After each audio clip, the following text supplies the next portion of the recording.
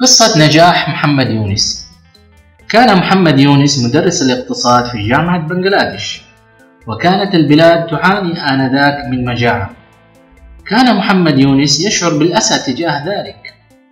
ففي الوقت الذي كان يدرس النظريات الاقتصادية في الجامعة كان يرى حوله خارج الجامعة فقراء يبحثون عن لقمة العيش.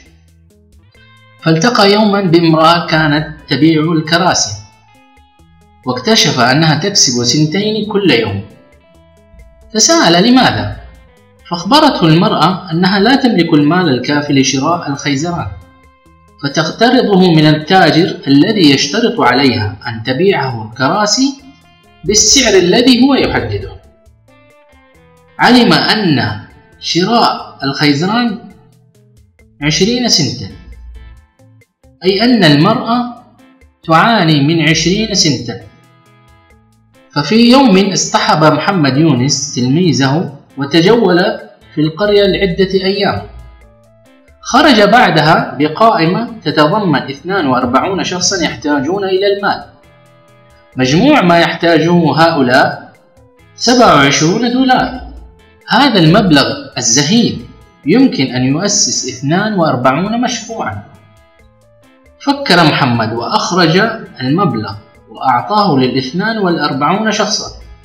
وأخبرهم أنه قرض وباستطاعتهم إعادته عندما يتمكنون من ذلك وأنهم يستطيعون أن يبيعوا منتجاتهم في المكان الذي يحصلون منه على سعر جيد.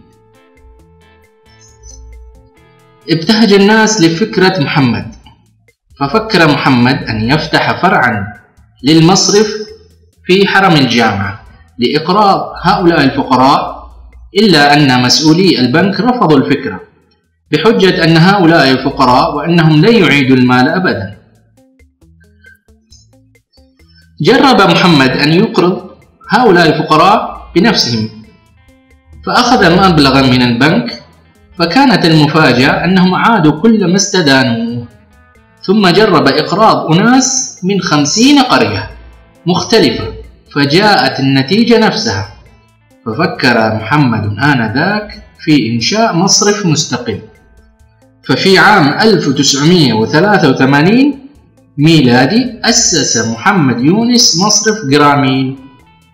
الذي يعمل الآن في أكثر من 46 ألف قرية في بنغلاديش. من خلال 1267 فرعا ولديه 12 ألف موظف وقام بإقراض أكثر من 4.5 بليون دولار. على شكل قروض تتراوح بين 12 إلى 15 دولار للشخص الواحد وبمعدل لا يزيد عن 200 دولار حتى أنه بدأ يقرض المتسولين. لمساعدتهم على التوقف عن التسول.